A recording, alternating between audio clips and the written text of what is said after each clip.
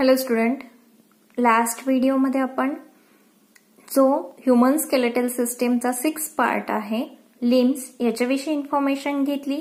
आता तीच इन्फॉर्मेशन आपल्याला डायग्रामच्या सहाय्याने बघायची बघा आता limbs include two parts first one is the arms and second one is the leg human arm and human leg आता त्याची डायग्राम बघा. आपण ह्युमन जे आर्म्स आहेत तर याचं जे स्ट्रक्चर आहे ते सांगताना सांगितलं होतं it consist of four parts okay four पार्ट्समध्ये first one सांगितलं होतं आपण अप्पर आर्म अप्पर आर्ममध्ये एकच बोन इन्क्लूड असते ज्याला आपण ह्युमरस म्हणतो जे आपल्याला डायग्राममध्ये दिसते. फर्स्ट जी डायग्राम आहे ह्युमन आर्मची तर त्याच्यामध्ये. नेक्स्ट त्याचं जे कोपर आहे आपलं तर त्या कोपरपासून जे जॉईंट झालेले दोन बोन्स आहेत बघा रेडियस अँड अल्ना. तर हे टू बोन्स आपल्या लोअर आर्ममध्ये असतात. आणि खाली बघा रिस्ट अँड हँड दिलेलं आहे आपल्याला तर रिस्ट अँड हँडमध्ये आपल्याला सेव्हरल बोन्स दिसत आहेत सेव्हरल बोन्स अटॅच दिसत आहेत आपल्याला त्याच्यामध्ये.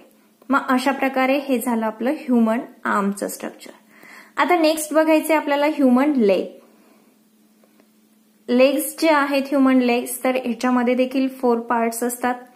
ज्याला आपण फोर पार्ट्समध्ये डिवाइड केलं होतं. First one is the thigh or upper leg second one is the lower leg ankle and foot आणि याच्यामध्ये जे अप्पर लेग आहे किंवा थाय जे आहे तर याच्यामध्ये एकच बोन असतं ज्याला आपण फिमर म्हणतो.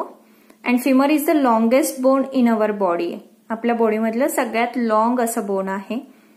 त्याच्यानंतर नी कॅप दिसती आपल्याला म्हणजे जे गुडघ्याचा भाग आहे तो. आणि नी कॅपपासनं आपल्याला खाली दोन बोन्स जॉईंट दिसत आहेत बघा फॅब्युला अँड टिबिया हे झाले टू बोन्स लोअर लेगचे नेक्स्ट आपल्याला अँकल अँड फूट दिसते तर अँकल अँड फूटमध्ये सुद्धा काय असतात? सेव्हरल बोन्स असतात. Like wrist and hand wrist and hand सारखेच याच्यामध्ये बरेचसे बोन्स अटॅच असतात. मग अशा प्रकारे हे झालं आपलं ह्युमन लेगचं स्ट्रक्चर आता आज आपण हे जे सिक्स पार्ट्स आहेत ह्युमन स्केलेटल सिस्टीमचे हे आपण लर्न केले अँड नेक्स्ट पार्ट आपण नेक्स्ट व्हिडिओमध्ये लर्न करूयात. Thank you